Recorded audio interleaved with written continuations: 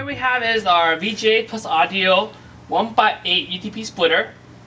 The part number for this is the R02T dash, or you see right here, dash SPL dash 35A dash 108B. So here you see, this is the backside. So you see the eight ports for the UTP cables. Uh, this also has an input and the input and the audio input. Additionally, you have a local output with audio.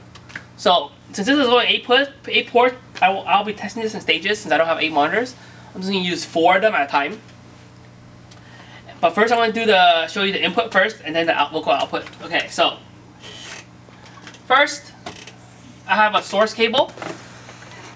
I'm just using a short, short, short source cable right now to a computer that has VGA. So I'm gonna plug it in, plug the audio in, and now I'm gonna also get a monitor. Just use one of these monitors out, and I'm gonna plug it into the local side. And lastly, I'm gonna plug in the power.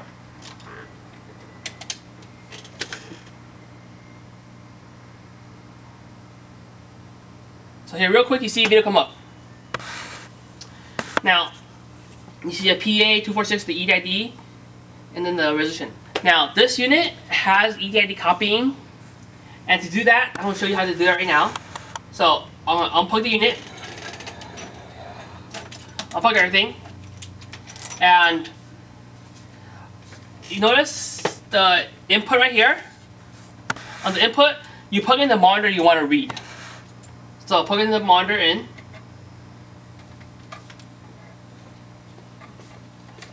and then plug the power. When you do the power comes on, EDID light comes on, wait for it to go away, and then basically that means it's been read, read. So you do it again. To do EDID reading, you plug in the monitor into the input that you want to read, plug in power, wait for the ED LED light to go off, and you're good. So here, EDID has been read, and to check, real quick, I check like this. I plug everything back in, check the power, plug in the power. Make sure the lights come on, everything come on, and you'll notice the display changes from the PA, whatever monitor, to the Acer monitor.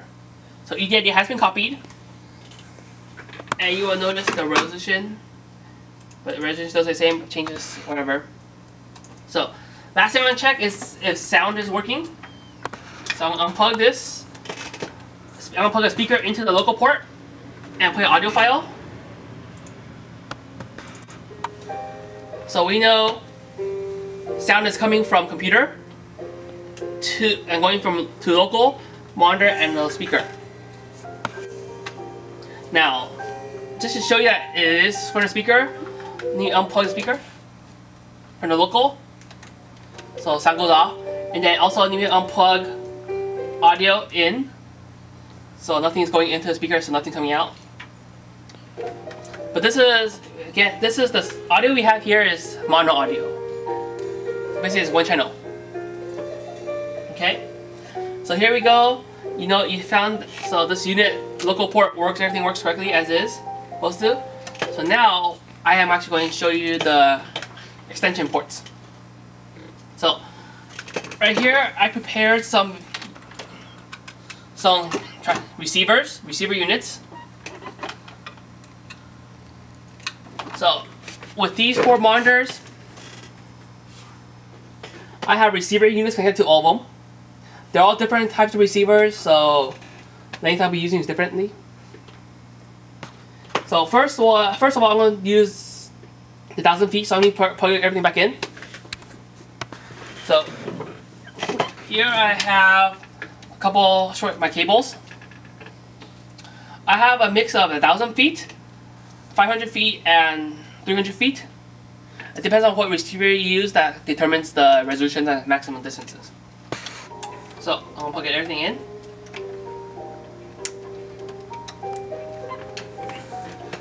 Uh, let me turn the audio off first. So, I plug everything in. And let's wait for a while, a minute. So here you see, every video comes up from the four ports.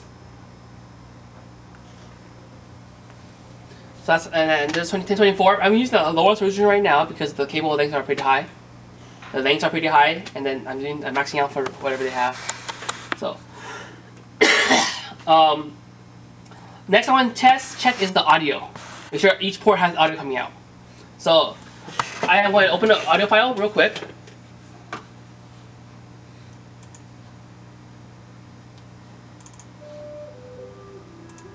So immediately you already hear audio.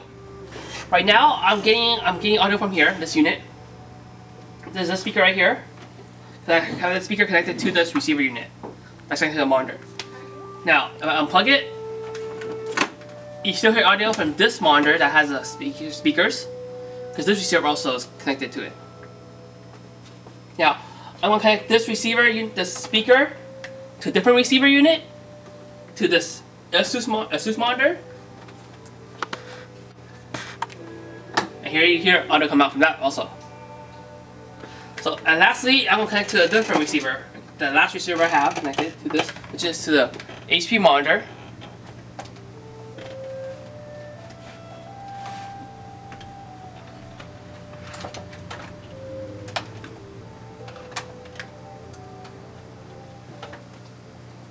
And here, so here you see here, audio comes out also. Turn it off. So now you hear from all three receivers. So basically from ports 1 to 4, video, audio, all pass through. Now, now with this, since I only have, I'm new to my monitor, I'm going to change the ports real quick. So you go here, I'm going to change from the, the first four to the second set, to the last set of four. Again, I want just to just randomly choose what to pick, plug in. Doesn't matter what order I choose, as long as I choose from next four.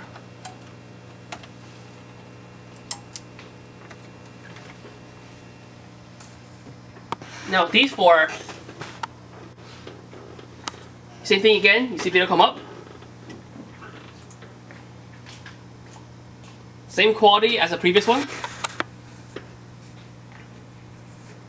all could work, run well. And then you need to check the audio again, make sure there, there is audio.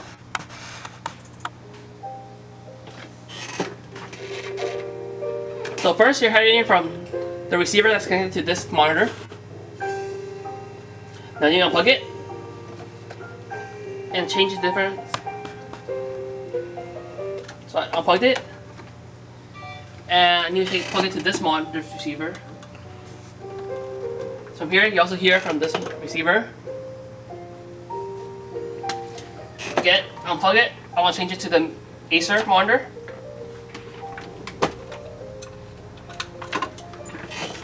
You hear also audio coming out. And lastly, I'm going to plug this. You can hear from here. So now with all four, the second set of four ports, video, audio also pass through. So that's it for this. Now, let me say again, this is this unit, these are determined by your res the resolutions and the length is determined by receivers. I'm using a mixed set of receivers right now, so I'm going to lower distances. However, um, if you use like a different cable, if you like use a different receivers that has higher resolutions, you can as long as the cable matches, you're fine. Previously, I used short, longer lengths with uh, low resolution. Now I'm going to just do real quick, concentrate on the higher resolution that we support up to. This unit additionally supports 1920 by 1080. I'll be using these two monitors. These monitors I put shorter cables on, around 500 feet, because they have the, these are the longer length receivers. So here you see video come up. So from here, give a minute for that. The Samsung takes a while to detect. So here you go, it comes up. Now, because I'm using shorter length, I could go higher, so I'm to go 1080, 920 by 1080, which is what we expect for this. You hit apply. And here you see, both monitors are at 1920 by 1080. Now I'm only using the first two ports of the splitter, but you want, I can change it right now. Let me change it real quick to any other runs. I did 4 and 7. Same thing, video does come up, every port is the same. So I go, so short with shorter cable with the longer long distance receivers. I also go with my higher max resolution is 1920 by 1080. So also works. Lastly, check audio. Same. Check if the audio comes same too. So yeah, that audio, the TV monitor has audio, and speaker connected to this receiver also have audio. So from here you see video does work. Now, really quick again, let me change another port, two different ports. I'm gonna change to six and eight, and you see same thing. Audio from here good. Audio from there good. So, like I said, the distance the length and the resolution supported depends on your receiver units. And but this unit could could display up to 1080 by 1080 for each port on each port. And it has audio and EID copy